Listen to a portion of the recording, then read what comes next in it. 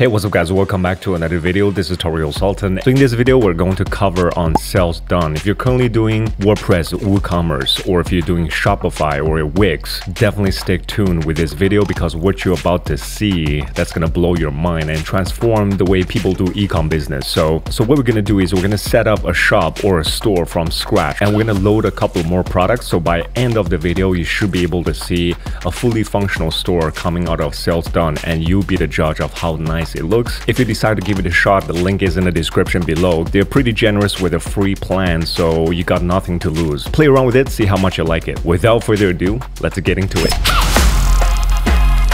As you can see here, I logged into my Done account. Before you want to create a new shop, you want to make sure a couple things are on check. First one is a wallet. Here you can see I have a USD account. So what you want to do is create a new account and you want to choose the currency you want to work with.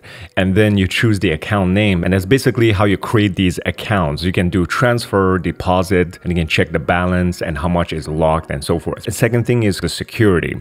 Done offers quite a wide range of security mechanism. Here you can see you can change your password. What I personally recommend is two-step verification or two-step authentication. It's a much more secure. Even though someone has your phone number, email, or password, they won't be able to come into your account unless they have a two-step verification code. If you're running an online business, it's your responsibility to make sure it's secure and it's safe. And now let's create a store from scratch. So I just randomly called it Tario Productions online shop. The language is English and the best part of it is look at what happens when I click on English. This is the list of language that Selldone supports. And this is how my store looks like if people search it up on Google or Google crawls your store. From there, I'm gonna give my shop a unique name. So this is the link I'm gonna use to share my store. However, keep that in mind. If you have the right plan, you can always use your own domain. But if you're on a free plan, then simply just use this link as you want, okay? From there, click on save. So description, this is more like a meta data or meta description for Google search engine. Keep that in mind the ideal meta description length for SEO is around 155 to 160 characters. Click on save or next. Now it's contact information. So it's really important again if you're running an online store to indicate what store, what country and the location. So this way again overall it's good for Google to crawl your website to find the location either it's online or physical store. And also really good for customers to see where your store location is from. And from there I'm going to click on save. Last but not least this is a unique logo for your own brand. Once you finish all these basic steps to set up your store, you should be prompted into your shop dashboard. So from a visual perspective, this is how my store looks like at the moment. And keep that in mind, I have a zero products, but overall, this is the bones, the structure. You can see it's pretty crisp and it loads really fast as well. Just a really quick tip here, scroll all the way to the bottom. You can change your store currency if you have a multiple different account, or you can change the app level to different types of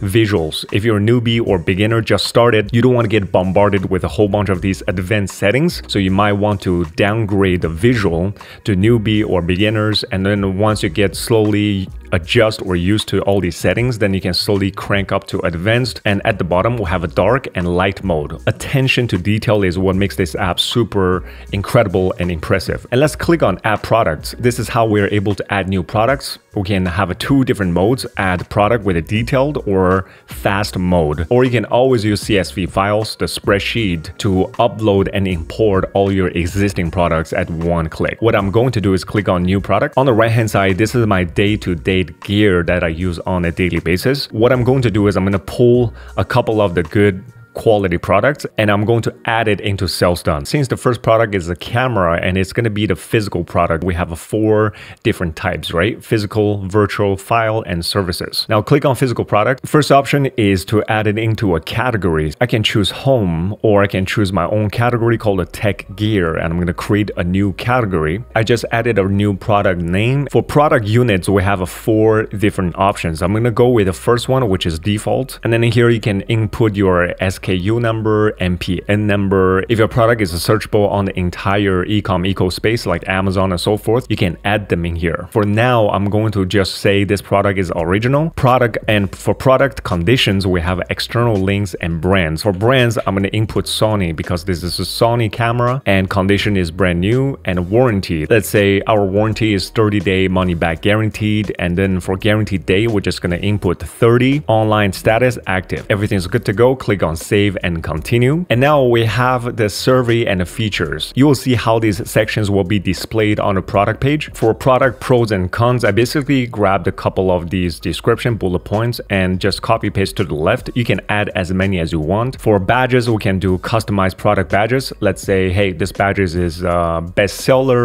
or promotion, new arrival. You can add these badges. By the way, pay attention to this UI. I mean, I have not yet seen an app that does such an incredible UI. It almost feels like I'm using Uber app a little bit. You know what I mean? So just gonna do auto and click on continue. For product images, keep that in mind. The maximum allowed is two megabyte per image. So I'm gonna drag and drop and now it's uploading these images. So this is going to be the main image I'm going to use. You see the animation, pretty cool animation. If I hovered over it, that's how it looks like. And if I go leave it and the title comes back. Scroll down, you can add a YouTube video as a video description if you want to. Just for demonstration purpose, I'm going to go to YouTube and find a popular YouTube video just to see how it looks like when I do a product video, right? That is the video link I'm going to use. And then for product images gallery, and now you can basically bulk drag and drop into this box Make sure again they're less than 2 megabyte and per image. So there we go, finish uploading the images. Click on save and continue. In here you can do an input form of buyer information, quick message to the users if you want to drop them a note. And from there I'm going to click on continue. Let's just grab the exact price they're selling on Amazon. You can give them a discount. For example, let's do a 50 bucks discount there. And you can also do time-based discount if you want to by inserting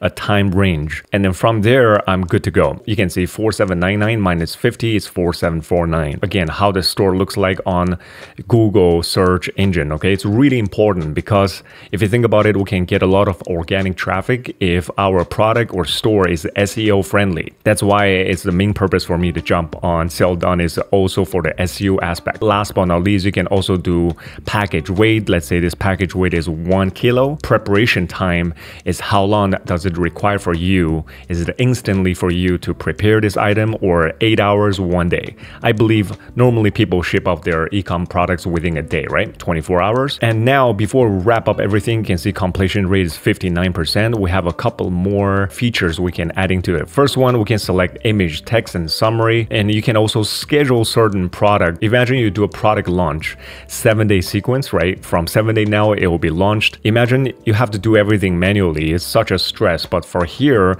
you can set that date of the launch and forget about it everything will happen in the backend automatically. That's why I like about it and put a title in there. That's good to go. And then you can also add a few more frequently asked questions. I want to add as many detail as possible so you guys can see how it looks like when we publish everything. And at the end, really important thing is structured data. This is going to tell Google, sending the signal to Google to say this product is about a book or this product is about estimated salary. So Google displays information differently based on what kind of signal you give it to. And you can also say this is a course, how to, or recipe. We're good to go from everything. Click on save and continue. Let's say I have a four of these cameras, set count, and click on finish.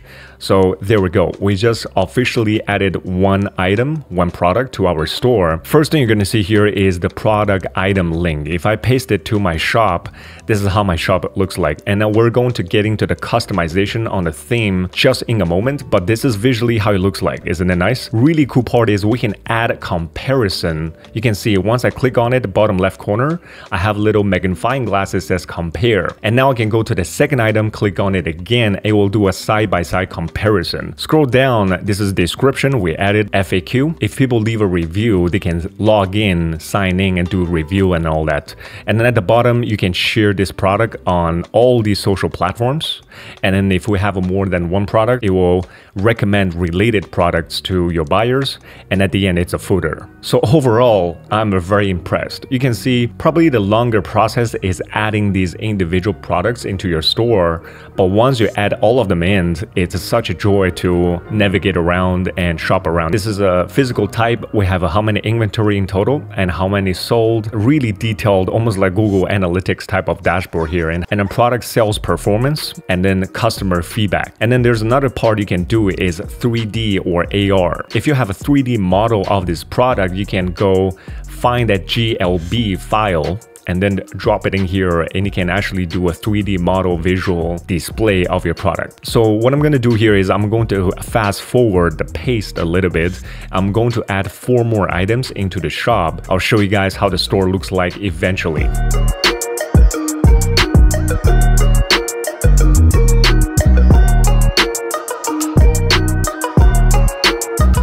As you can see here, I added four products in total. Honestly speaking, I kind of enjoy the fast mode. So basically you can use the fast mode quickly within a few clicks to add the product into your store. I bet you a lot of these WooCommerce or Wix or uh, Shopify don't have such a feature. You can massively organize your products, right? So this is how the store looks like. You can see the four items has been added. It shows you the discount percentage.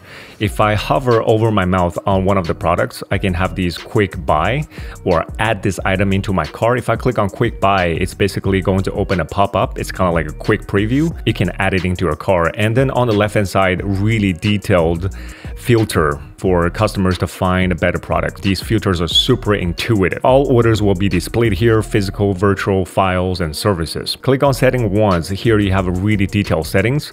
In my previous video, I mentioned the business model. I just want to go with a normal store model. This is a direct communication between customer and my shop. Just give you a clue, if I click on drop shipping, look at the model.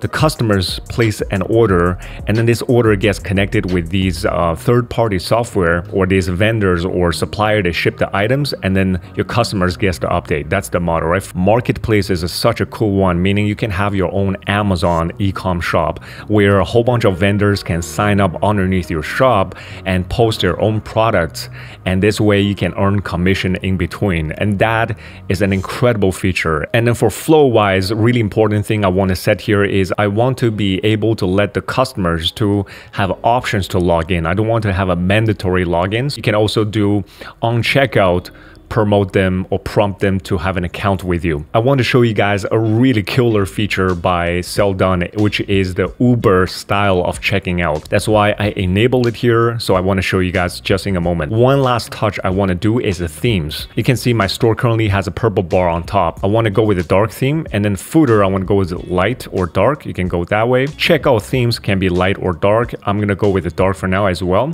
And then the points you want to change is the color code here two, three, four. There are four spots. For a primary dark color, I changed to this green. A deeper one, I changed this to this deeper green. If you want to find good color combination, that's a good modern branding, you can come check out coolors.co. You can start generating or exploring like a trending, kind of like a color combination. There's tons and tons of these color combo you can use, okay? Primary color of the button, you can see I changed to green and then I'm just gonna grab that same code and I'm gonna change the hyperlinks to this green. So you can see button looks like that, links looks like that, and that's it. I'm going to apply changes, come to my shop, refresh, and that should show you the refreshed one. And then if you want to add more language pack to your store, you can click on install.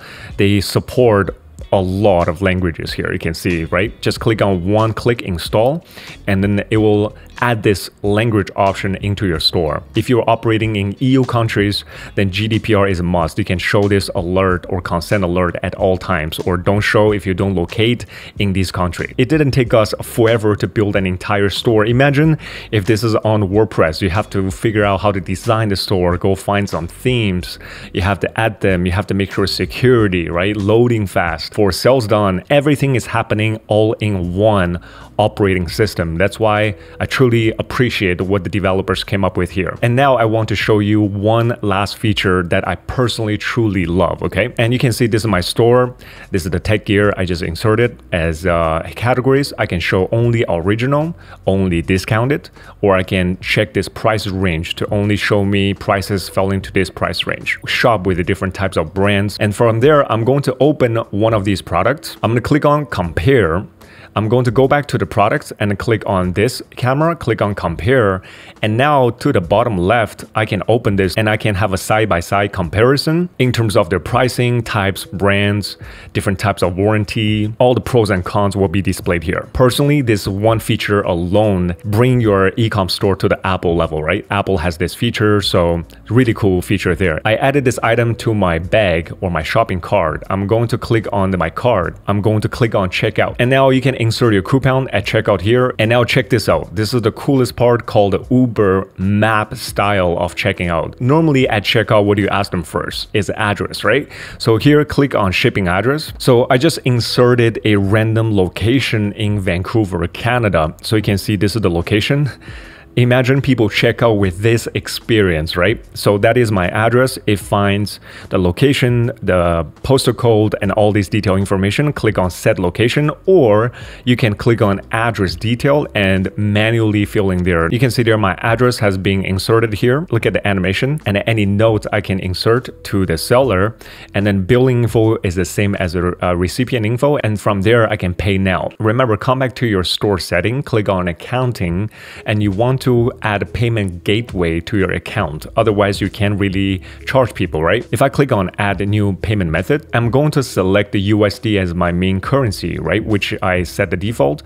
From there, you can see that I can add Stripe as my payment method. I can add PayPal and I can do cash on delivery. Again, this is more like an in-person type of thing. If you only do it online, I don't recommend cash on delivery. And then from there, you can do bank transfer and other payment gateway methods. If you click on PayPal and you can activate your PayPal payment gateway. When people check out, they can check out either through Stripe or PayPal. As you know, majority of the buyers now is on mobile. Let's test out everything on mobile, see how it looks like, and make sure everything is loading smooth, things are aligned properly, okay? I also did a GT GTmetrix speed test, came out with an A on a product page, so which is fantastic, right? So now this is on my mobile. If I click on a tech gear, this is how the product page, the grid looks like, and click on one of these products. If I click on video, that's how you are able to view the video, right? On the top right corner, there's something called a QR code. You can literally grab this QR code and show it to your friends. You can scan this with your camera and it will load this page immediately. And here, these are product images, pretty crisp and good quality. There's not like heavy compression, you know what I mean? So the CTA button is add to cart and then these are the description and share buttons, right? And then we have a related product that we can keep upselling them. And keep an eye on the bottom, there is a bar.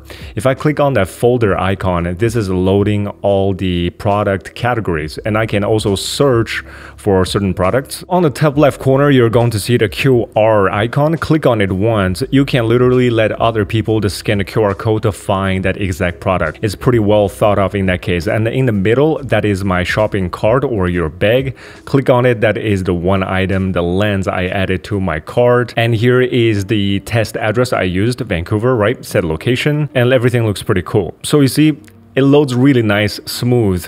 It has this design to it, right? It probably will cost you quite a bit if you hire a designer, just design a product or a store like this. Everything you're seeing here we've done is basically filling the blanks, right? And drag and drop basically. Overall, what we did is we set up a store from scratch, added four products, so you can quickly set up a fully functional store within an hour or 30 minutes. If you enjoy this content, drop some comments and some likes below and let me know which part you enjoy the most and also let me know what kind of help do you need in terms of setup. I'm happy to record them into videos and help you guys to quickly get a just of Selldone and started to make passive income online with your store. And lastly, if you have not yet registered an account or signed up with a Selldone, the link is in the description below. They have a pretty generous free plan you can use and to learn. And if you decide to go with a paid plan, you can pick one of the options from there. Tario Sultan signing out. I'll see you guys in the next one. Cheers.